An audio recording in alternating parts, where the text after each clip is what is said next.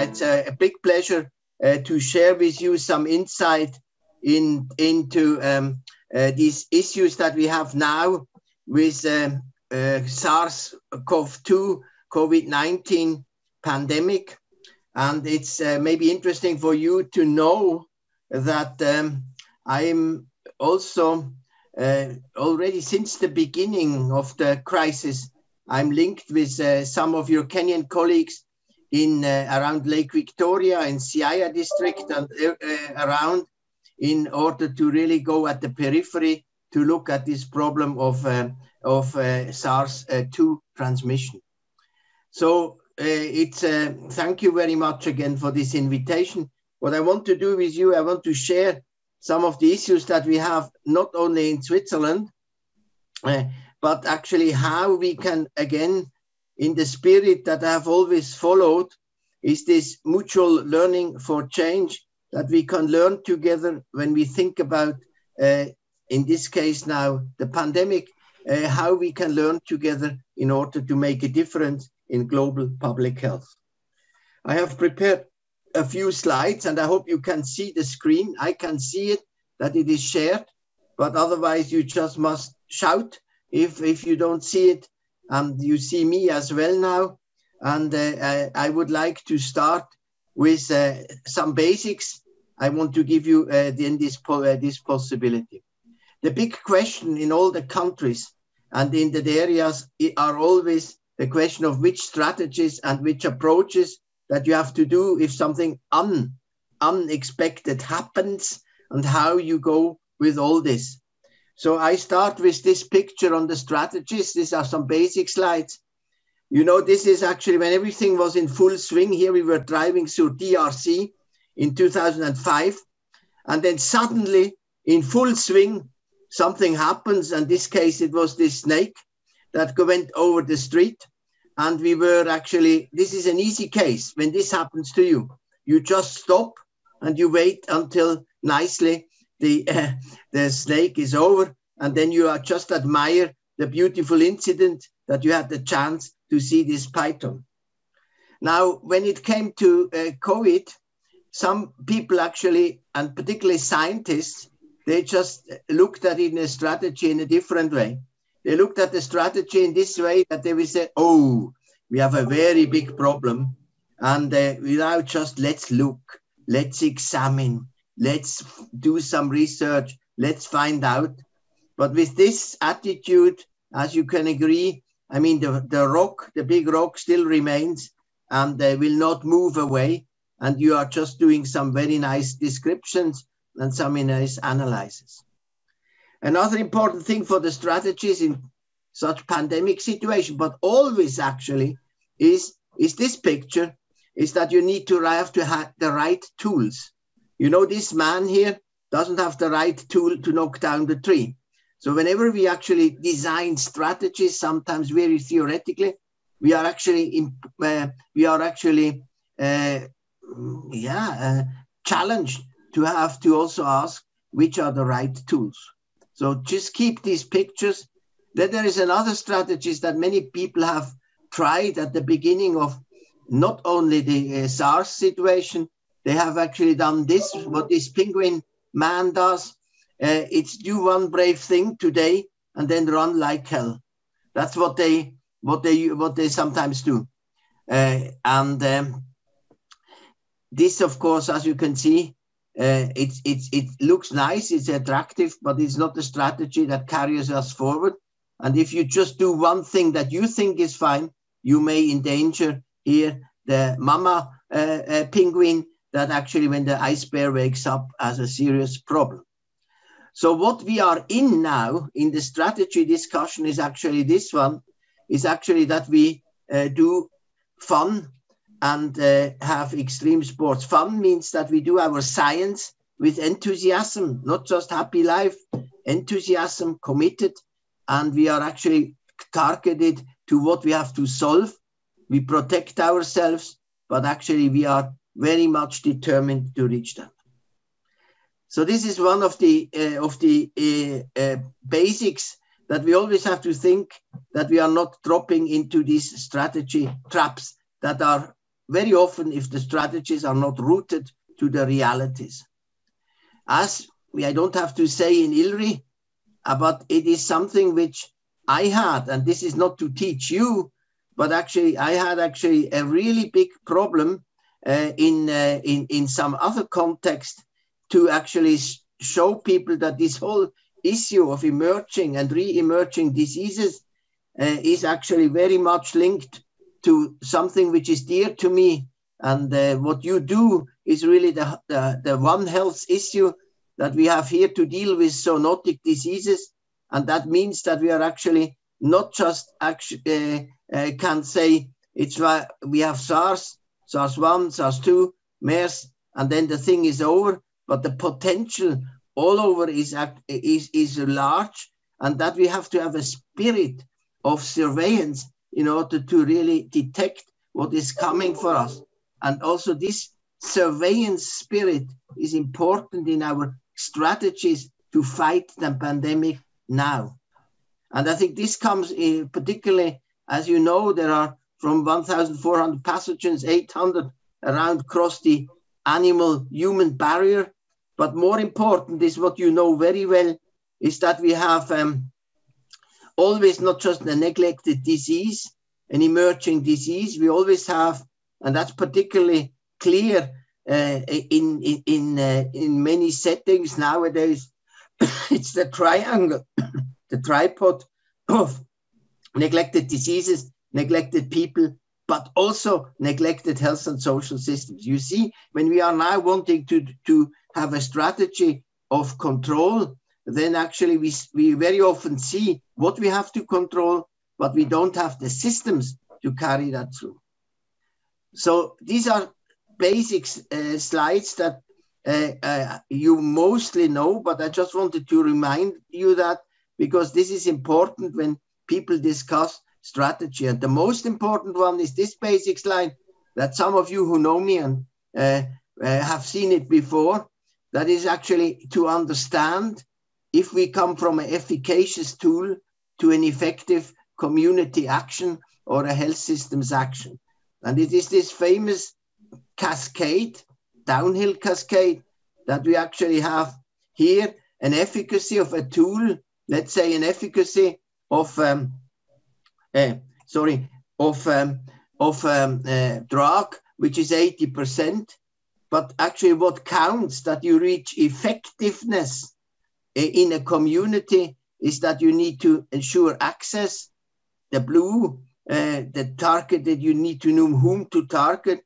You must have from the provider the compliance and from the consumer the adherence. These blue factors are health system factors, but they're also factors on how we collaborate together. So if you have also a very nice efficacy of 80%, if you do not reach here uh, 100%, if you are actually low in these health system factors, your effectiveness in this example collapses to 29%.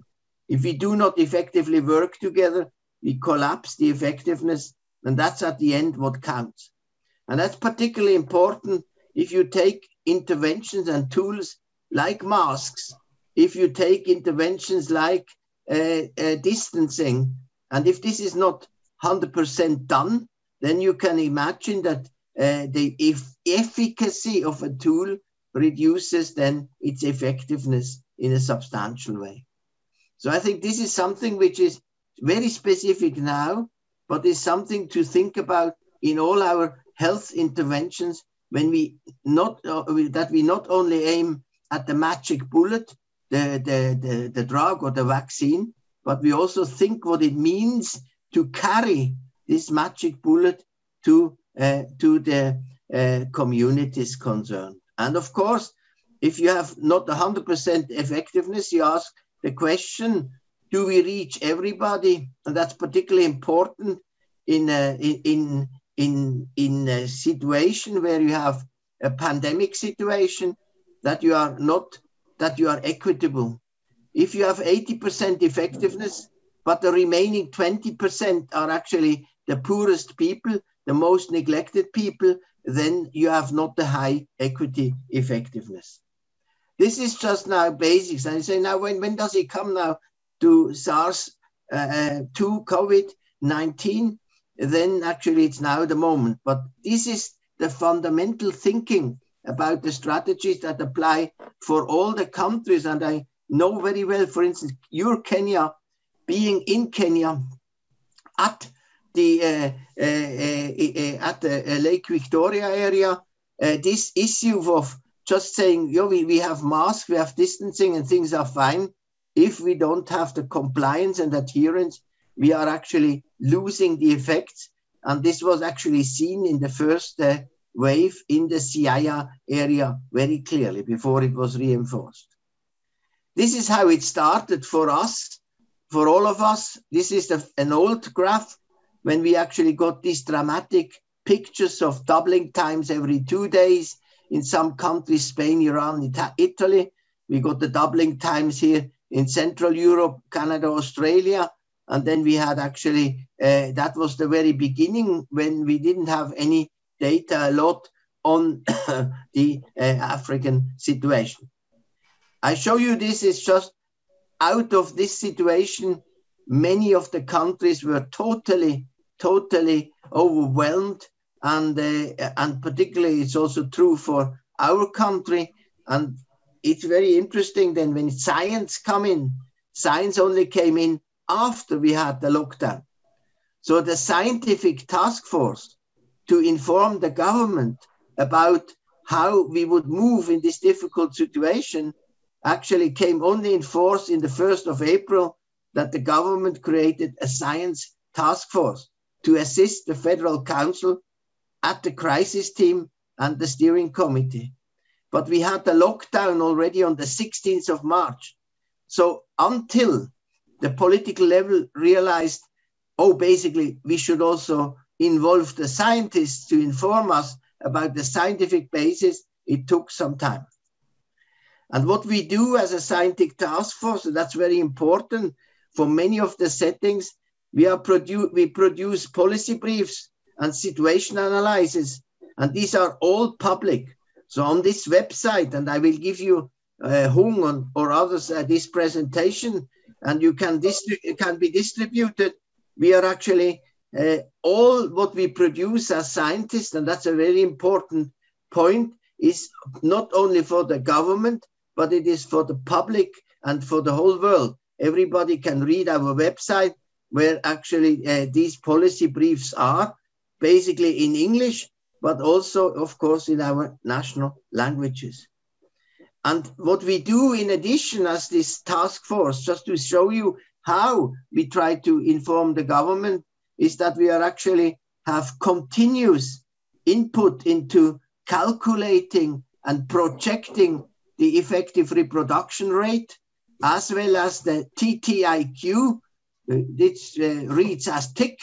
It's the tick that means it's the uh, it's testing, it's testing, tracing, the isolation and quarantine, the system that is partly based also on an app and this is actually the scientific contribution to constantly inform, not for the whole country, but actually for the regions, the reproduction rate, as well as uh, the contact tracing situation. So it's these two elements that flow into the decision making process. The measures are actually then decided in the social political discussion, not only by the scientists, but by the Federal Council, but uh, with community representatives and with uh, uh, with also the uh, different uh, uh, private sector and all the peoples that are then involved in our economic and social tissue. So clearly, it is not that we say what has to be done, but we inform about options of things that could and we sometimes are a little bit stronger by saying should be done. But we are not, we are actually making policy relevant statements and options to act, but we do not do policy prescription.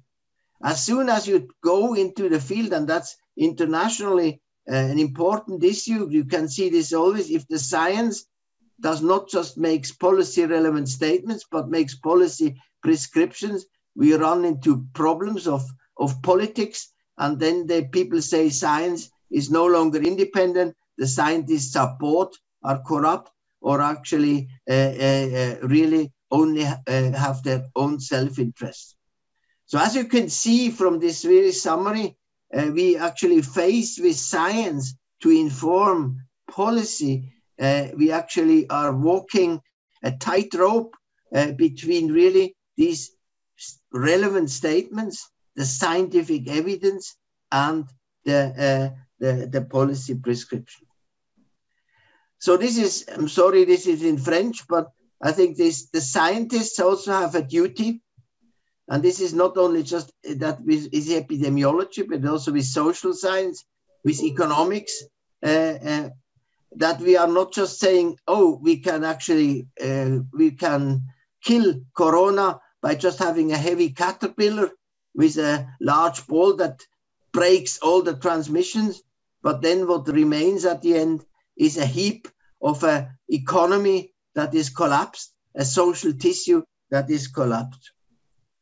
So this is actually not to discuss in detail, that looks wild, but that actually is what we produce in the science is that for the country, but also for the different regions, we have this, uh, the, the solid uh, lila line is the reproduction rate, effective reproduction rate of transmission. And so we follow from the beginning over time if the case reproduction rate is over one. And we know now that we have actually, uh, uh, we have, uh, we, we went down and it, it was a terrible situation that we have went into the second wave.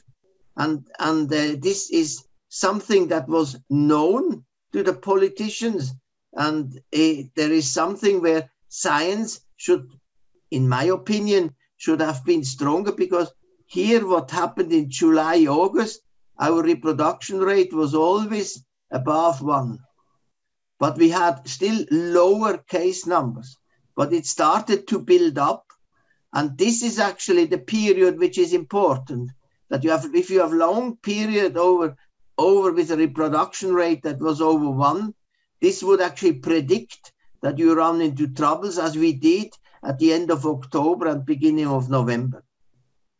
And I think this is something which uh, is not a justification or an excuse, but it shows that despite we had these measures of surveillance and projections in place, we were actually not able to bring in the evidence that if you have over a long period a reproduction rate that stays over uh, one and accumulates not too many cases that so politically social politically people said oh we are in a low case situation.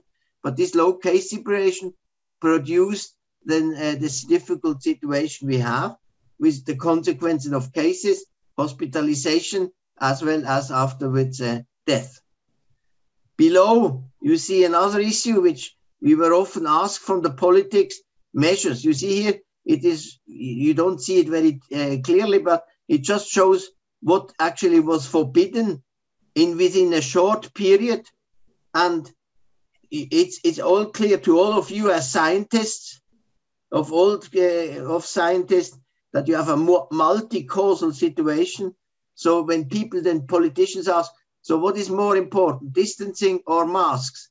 Then you of course you cannot disentangle this if you have the measures uh, uh, brought in in the same way, combined with the uh, the effectiveness issues that I showed you before. So we went up, but uh, this is we went up and I, I want just to uh, add a few other important characteristics, which are also important for your country and for all the country. In, in SARS-2, uh, uh, Corona, uh, uh, we have one difficulty, and this is the heterogeneity. So here is our country, Switzerland, that the, uh, the more it's red or dark, uh, the red, it's more, you have a higher proportion infected. And what you see, the whole of Switzerland is not in an, has, doesn't show an equal distribution. So we have a heterogeneity in space. then we have a heterogeneity in age. As you know very well, the younger people, they can be infected, but they are not seriously sick. And there is only the uh, problem with those who have uh, comorbidities. So if you have to deal with a disease that has heterogeneity like this, measures on a national level become difficult. Because as you can imagine, if you say it's a big problem now in Switzerland, some people in the central part would say, what are you talking about? We have no hardly any cases. It's not our problem. So uh, general measures face a problem. Or if you say, everybody be careful, some people say we are in full swing, we are not getting infected, it doesn't affect us more much, so no problem. And so the communication and the tailoring of uh, of uh, mes- uh, of messages and measures is actually an absolutely crucial thing. And I think this is something where I can say we were failing. We were failing uh, uh, uh, because we had too many general measures for a whole of a country, but we had less tailored communication. Also, we are in a in a political situation that would help us. I mean, Switzerland, we have 26 cantons, and health, education is a, is cantonal affairs. So we have a, a, a major decentralization. Uh, and you have also decentralization in Kenya, Tanzania. Decentralization is an important tool to tailor an intervention, whatever it is, to a, a given uh, setting. So, despite these decentralization possibilities, we have uh, uh, not very well handled in our situation uh, to use decentralization to really go in a very targeted way where uh, uh, things happen.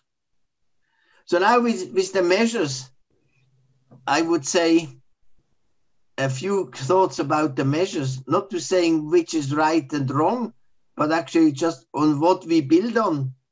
And uh, the interesting thing in, in, in COVID was that the past lies ahead of us. This whole picture shows you, even before we had the germ theory, shows you Professor Semmelweis, and who discovered that his students coming from the anatomy uh, uh, lessons, practicals, actually had uh, transmitted much more infection to uh, uh, women giving birth and the measure at that time, when we didn't know anything about bacteria in the mid 19th century, was that one said hand washing. So you see, the hand washing thing was actually what came up as a first thing in the measures, not only in Switzerland, these were the posters, not from Semmelweis period, but from this spring, where we said, do wash your hands. Uh, this is so we were actually going back to experience from before.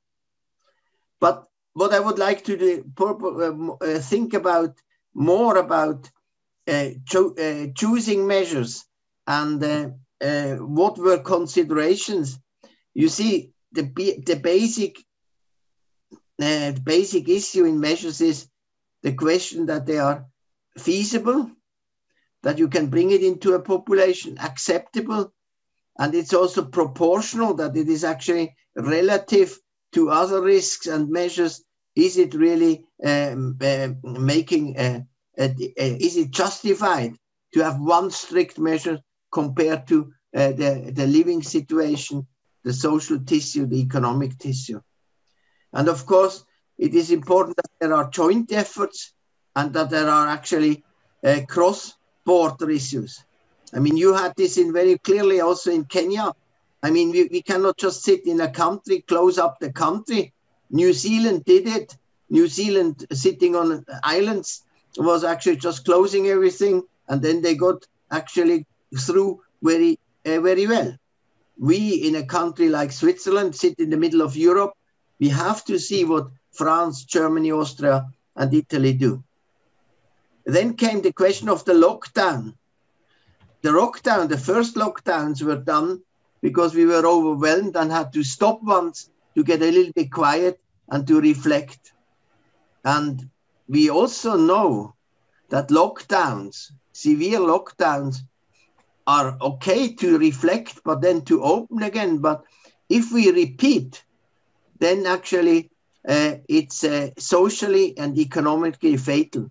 If you go up and down into into lockdowns and then you shut down economy, you shut down social life to a large extent, and then you come up again. And this is very important for the period right now and for the festive uh, period. People think of the so-called circuit breakers. Circuit breakers are just short, hard lockdowns of two to three weeks uh, or four weeks. And there the problem is that if you if you do a circuit breaker now before Christmas and then you open everything again, you can still have the risk that you get into a new wave. This is the so-called yo-yo effect that many people know from diets.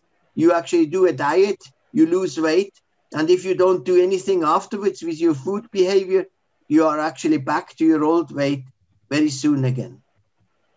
Of course, we have the outlooks for um, uh, for um, uh, the vaccination, but if these major efforts are being completed, it still takes time. Even if now, like UK announced that they would start vaccinating uh, this week or next week, takes time. Then the last issue, which you as scientists are interested, is of course the herd immunity. And some of the countries chose a strategy uh, just to say, let's have the transmission going on.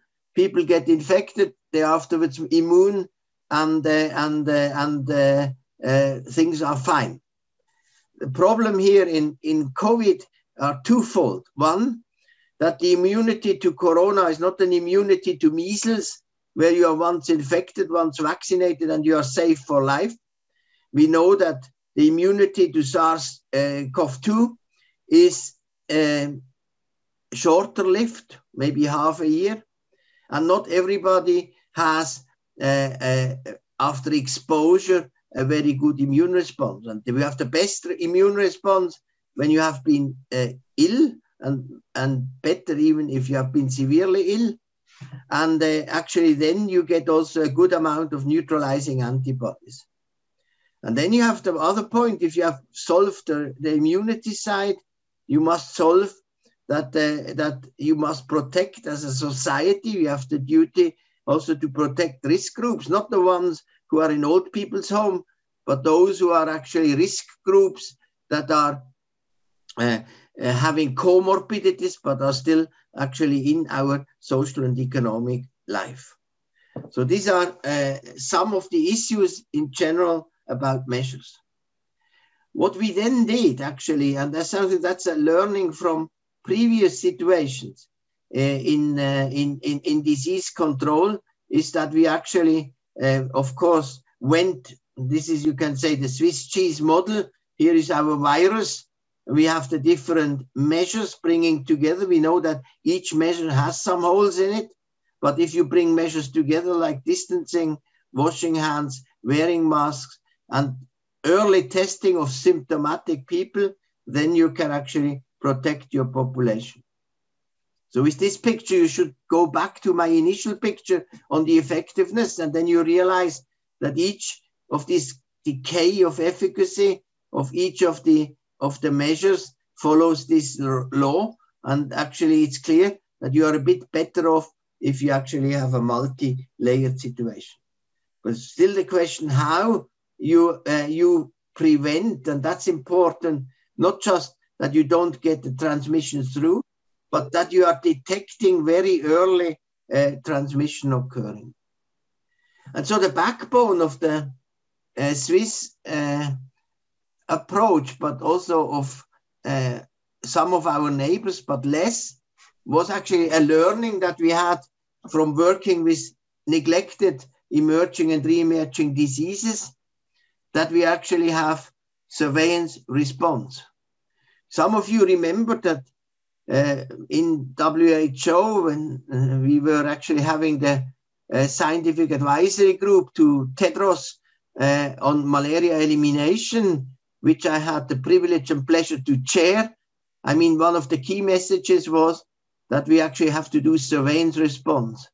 That means that you actually not collect data in monitoring and evaluation mode, but you actually do surveillance and you collect data, minimal essential data in space and time in order to find out where transmission occurs, and then you can give a tailored intervention.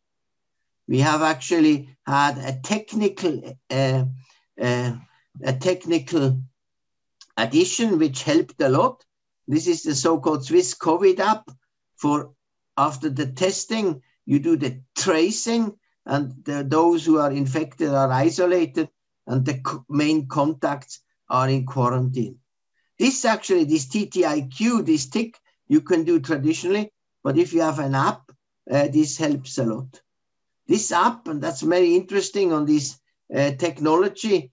I mean, initially people said we should just take an app from Singapore or from South Korea, but this will not work in our country because of the Data Protection Act, where we should actually not create a central database.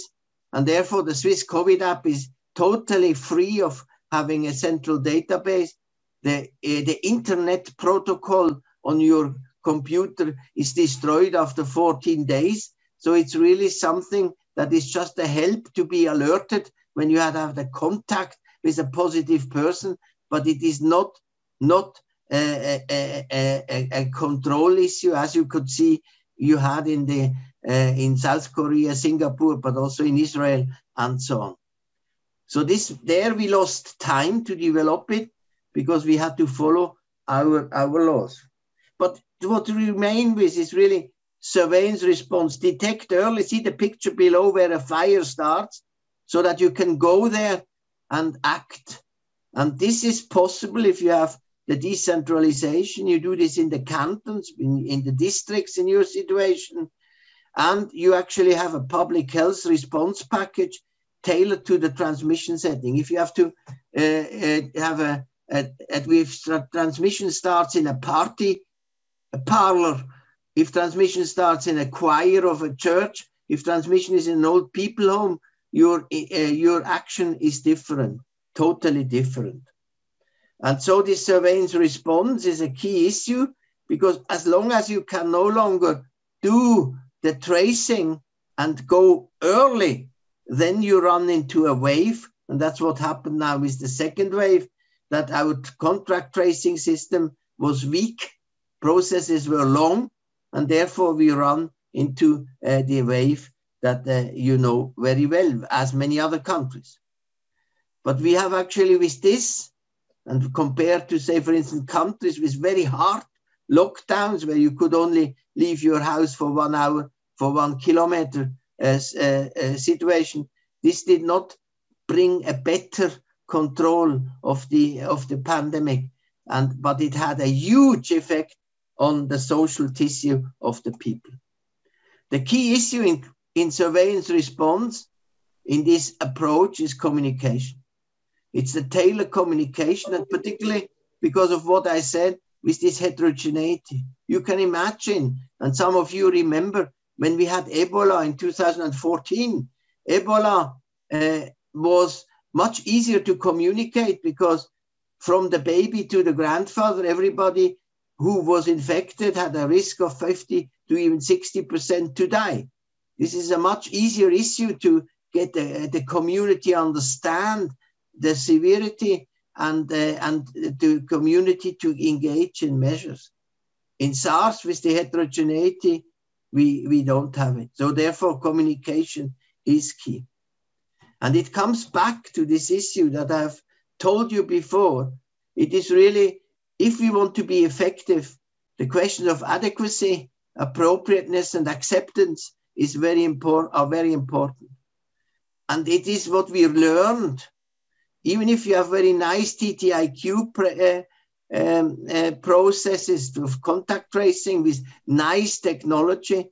It's the processes that count, that we are actually in time, not only just transmitting by email, but also doing the analyze and act quickly. Otherwise, surveillance response does not work. And then surveillance response is like this picture. So we must, through processes, through sharing and well definition of roles and responsibilities in a given ethical and legal framework, we must accelerate these processes. We must not have another new technology, another new technology. That's how we can make surveillance response work. There's something which comes up in all the countries now.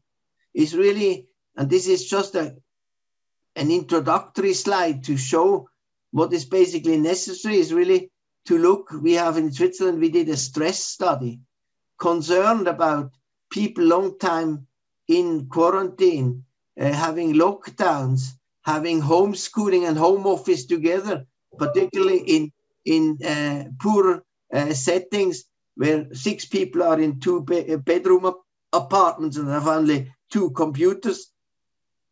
That is actually the issue where stress comes up. And indeed, about during lockdown and afterwards, 50 to 40% had stress, and it's only 26%, 30% after lockdown that said, No, I'm fine, I'm in top shape.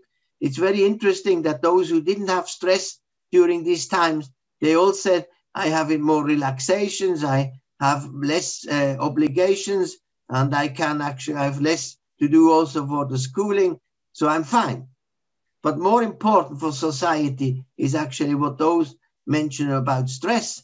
I mean, the burden through the uh, workplace changes, through childcare changes, for being alone, for and, and the worrying about the future, the job, worrying about the, uh, that you are actually don't have so much freedom anymore. That was very significant, and this study is now being uh, uh, uh brought, is continued because this is really the, the issue where science must contribute a lot on long-term effects, the mental health, as well as then the societal tissue, to what extent actually the societal tissue is actually affected. So I think this is something which, uh, uh, when we talk about science and such a pandemic, uh, Uh, the lesson from this small slide here is not just to concentrate on epidemiology and infection control, but also look at the, the not just to do social science, but really do at the effects on well-being, on the social tissue, because it's the social tissue that carries the economic tissue and not the other way around. And I think this is a key area where science still uh, must contribute a lot. And I mean, talking to ILRI, you have actually there the issue that uh, you have always populations uh, that are in a, one health situation where one must optimally balance uh, really the well-being of the society uh, uh, that is actually largely carried in the pastoralist groups by the well-being also of the of, of the animals and the productivity of the animals. So this is an outlook where science still has a lot to do. Even if we have a vaccine, these longer term effects of this one year of a, a relatively dramatic situation that has touched the world has to be looked at because that will certainly determine on how we are actually uh, interacting together, not just traveling, but actually how uh, meaningful are uh, some of the relations and how meaningful or not meaningful are just to, to work in distance with Zooms and so on. Here, I mean, the outlook for vaccination is now good, and you read also the, the journals. And I think just wanted to have summarized on one slide that this is all fine. And uh, but we know that we still have, I mentioned it before on herd immunity, that we have the natural immunity, which is not as fantastic as in a case like uh, like measles. The positive thing is that we have nowadays, thanks to the work that we did in Ebola, thanks to the work that we did, for instance, in malaria, we have new ways of doing uh, uh, clinical studies, enrolling procedure, overlapping phases. This is actually what we have installed quite a lot through the work in, in uh, particularly Africa, where we have actually learned how we can ethically correct, develop tools quicker than standard procedures. We have all these candidates, that's all very nice. Uh, we should not uh, be a bit careful about the intermediate results because they were only taken after a shorter period. And we really need to see that full phase three results are there because that determines registration, but also post registration condi- uh, conditionalities. Also, these uh, preliminary results that are looking very well, we have to see uh, there is a immunity induced against infection and or disease, or and, and, and very important, how long does this go? The good thing again is that we have this iterative process with regulatory agencies to, uh, to, to, to go on and accelerate registration. But on the other hand, each country will have a huge challenge where also science can help, is really to have the whole supply chain, the supply chain management of such a major operation is not the easiest thing in the world. How do you set priorities for risk groups and, in this case, health staff and their families? And uh, and uh, uh, how is the communication again? So this is a slide to show that we are on good track, but we have to think about and uh, that we have really uh, to to maintain not just the uh, to, to maintain the scientific standards, but also the ethical standards, because that that determines acceptance in the in in in in, in the in the communities. So we here we have something to come. We could actually discuss a lot about these many discussions, which are really the ways of transmission and the roles of aerosols. We, we have the issue of the children here as a key sentence is that children are not the drivers of the epidemic. They can be infected, they can transmit, but they are not the drivers. You have all the discussion on what does uh, what does actually the PCR test do and not do and also which uh, rapid diagnostics tests are now being used, even using saliva, no longer the difficult um, nose, throat uh, uh, swabs that you have to go through. Then the famous discussion on masks, where the difference is very often not made between masks as a barrier versus mask wearing behavior. Most of the risk with masks is how you wear it and how you keep it, clean it, uh, then uh, it's the mask as such and the immune and the vaccines we discussed. These may be questions that will come up afterwards. But what we have learned in academics and also with the discussion with the, the politician is actually what I want to come back. Is here the title. We must be humble. We must say that we are scientists. We show what we know and what we don't know but we must also be pragmatic. And this goes back to this scientist here you saw at the beginning who is looking and studying. And here, when, when I see such a scientist and coming out of this crisis, I would say, remember, my dear friends, always the sentence that Sir Bradford Hill made in the time when uh, Sir Bradford Hill was um, discovering uh, the relationship between smoking and lung cancer. Initially, people said, "Ah, you need more studies. You need more studies. You need more studies before you can say uh, this is uh, real uh, something that is connected." And uh, many of you have written in your thesis the sentence, "This problem warrants more research."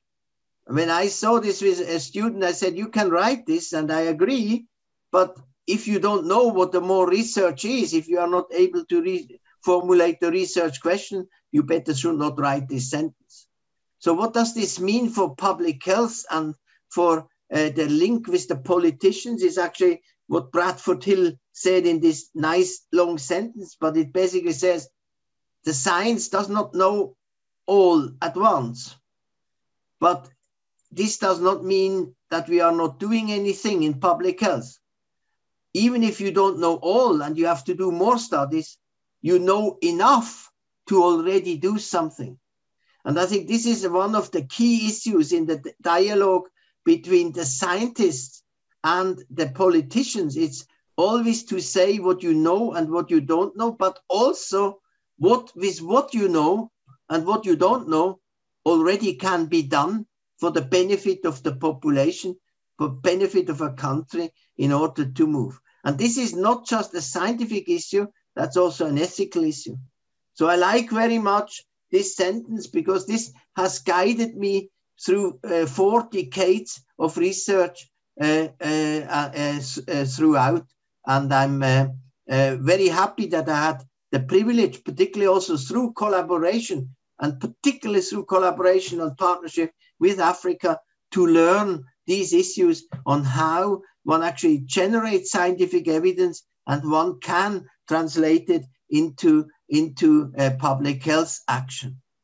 And you have certainly now seen that the road to success uh, has no shortcuts. This is this driver saw this as well.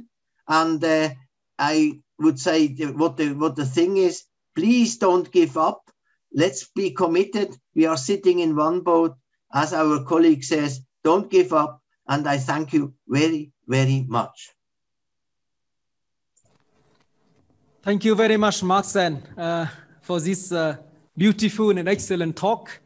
There's a lot of uh, take-home message from the talk, you know, going really from the deep science into the policy and also the reflection of the public health career applied for this uh, particular pandemic at the moment.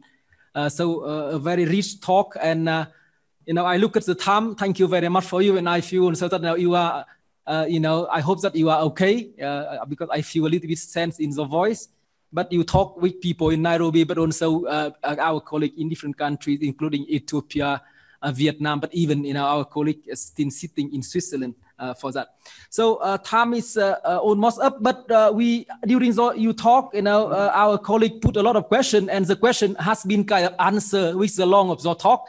So, so some of these things was clarified, but here I would like just to take one or two questions from the group. And uh, our uh, colleague Eric Fèvre uh, asked you, I think that is quite two interesting question, and I read two, and you can, you know, give some element of answer if, if, if, you like. Uh, said, my question is about the role of science and policy making.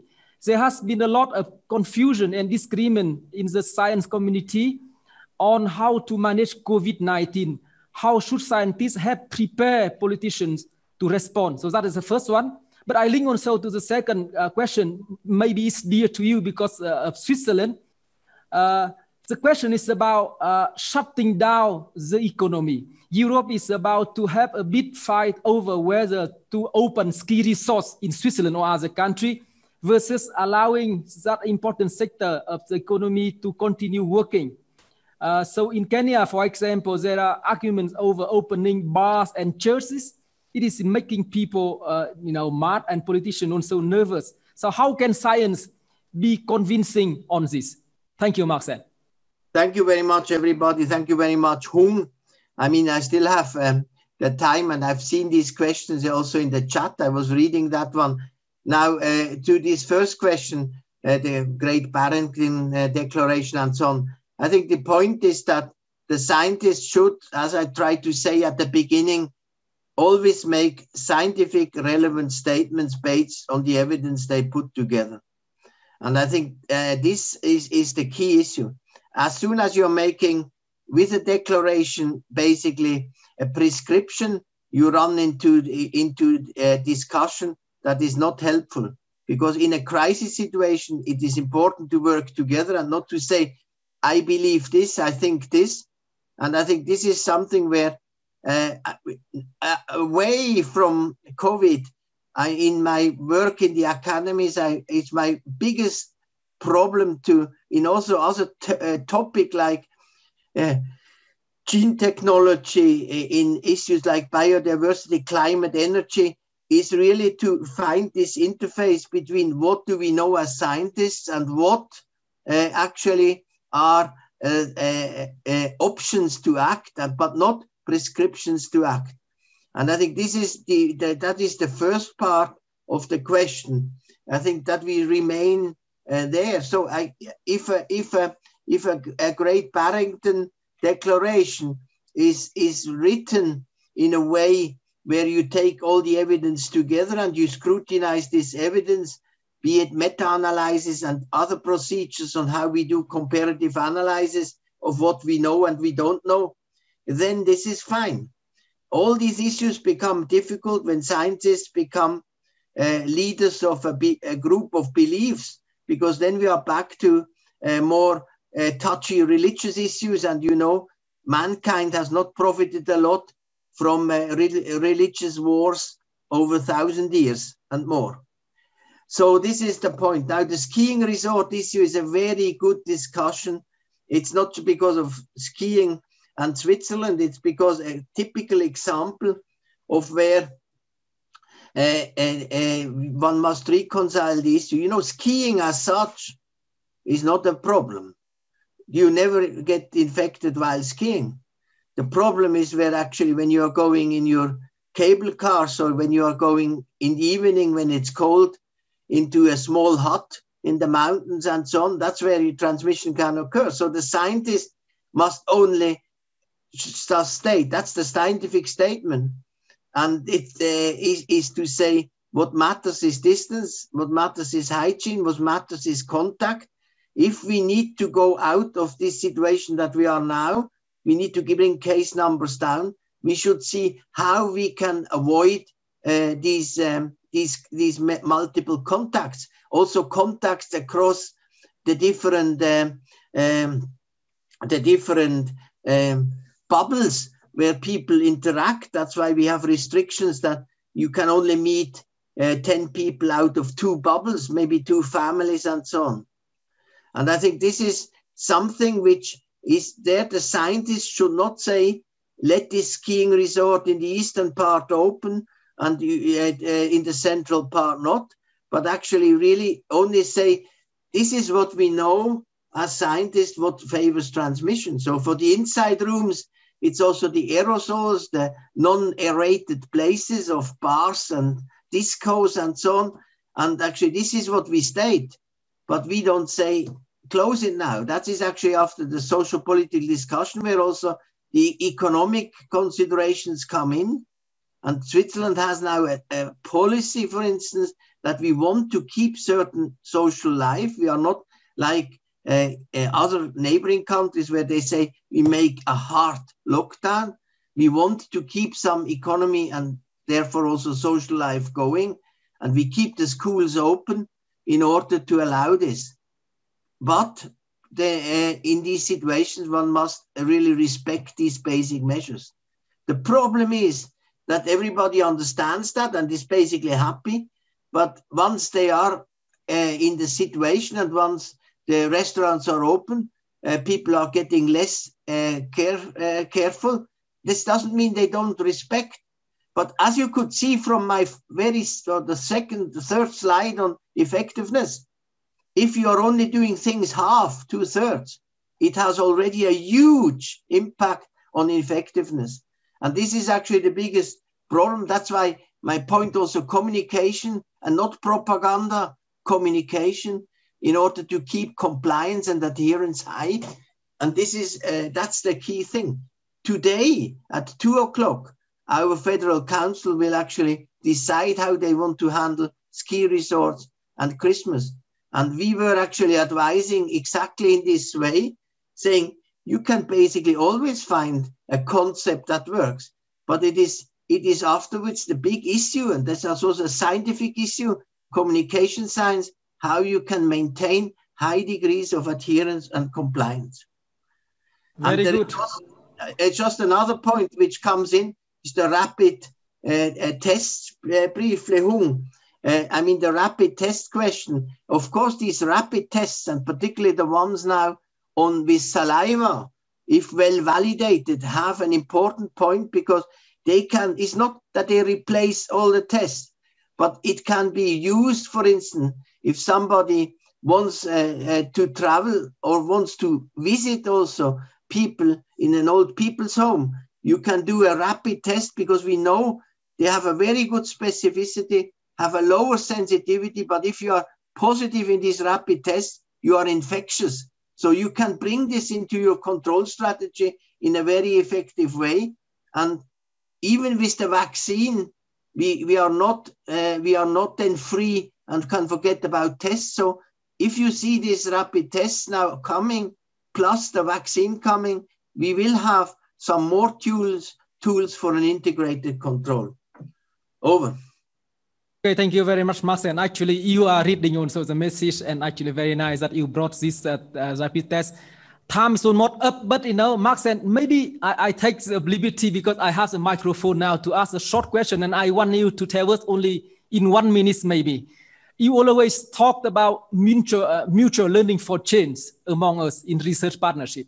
And now for this COVID context, you see example of Vietnam, where I come from, and sometimes I'm proud of that. We control COVID quite well with China. So, and you know, that's kind of low, you know, in middle income countries. And when you look at Europe and North America, the situation is uh, much more, you know, uh, uh, you know, it's, it's a very drastic increase on this thing. So, so what, what is the short comment on the, you know, mutual learning for change within these two contexts? How, how we can learn from you and how some of these, you know, heavily hit by COVID-19 can learn a bit from, from some countries they have uh, you know, they have a better control in the sense of number of cases and number of deaths at the moment where I refer to Vietnam and China. Thank you. Thank you very much. I think it is, it is an important discussion, and I think it's actually we we looked a lot about the, the uh, Southeast Asian uh, situation, and here, as I tried to mention briefly with the with the app, I mean, it would have been an easy thing, and we would have done better if we would have just taken the South Korean and the uh, Chinese app uh, systems. But this actually leads to a situation, uh, uh Hung, uh, where uh, we are not being capable to introduce that in the population. The biggest hesitation is also Birgit Habermann asks similar questions. The, the, the, the situation is that we are having we are people are suspicious to have a central database and to be controlled. Also, Israel uh, we did very well at the beginning, and in Israel, you, they just had to switch over the contact tracing uh, to the uh, Secret Service system, and they could actually have each smartphone in the whole of Israel and in the occupied territories locked. And this is something which was not uh, accepted. So we, the learning was that we needed such apps. The learning was also that it could not be transferred immediately. And we, we, we had it to detach, in the case of the Swiss COVID app, it from a, a, a GPS based link so that people were, could not be linked where they are. And uh, actually, it had to be uh, delinked from a central database. And so it was a learning in, in, in a situation, but it is also comes acceptance and feasibility in a given social political uh, system. And that's very important. So the same thing is when uh, Birgit in the same context asks about um, the Ampel system, that the traffic light system. I mean, a traffic light system for a whole of a country is basically not possible with the heterogeneities we have. Because if you would do this, then some parts of the country would say, for us, it's green, it's not red. And, and if you want to, to do this by, by canton or by district, it becomes very complex to have really real time information and not creating also systems that a situation that we had. We had uh, in Geneva, we had a lot of cases. As a consequence, people, uh, they, they, they closed the bars and restaurants and everything what happens? They went to the neighboring uh, canton and they had uh, the big parties and so on. And then, as a consequence, these cantons run into a much quicker second wave. So, having this Ampel system or this traffic light system is is is is is is, is, is a tricky issue, and particularly if you are close together. Of course, nobody, if you close the bars in Kenya, uh, in Nairobi, will then run to Mombasa uh, for a party but I mean, it's it's a different situation if you are are, are, are very close. So this this adaptation to the local setting is in these situations absolutely important.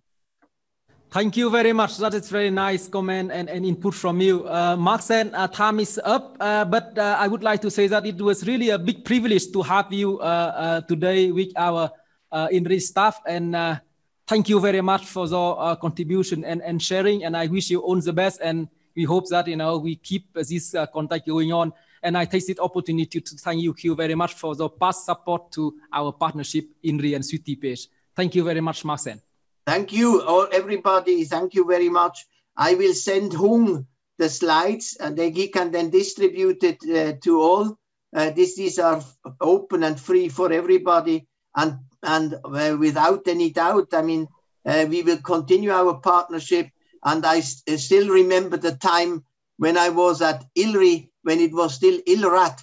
And I, I, I now see where you are. And I, I have followed your, your part uh, from actually 1976 onwards when I was working with Hirumi on the cultivation of the cultivation of the bloodstream forms of uh, trypanosomes.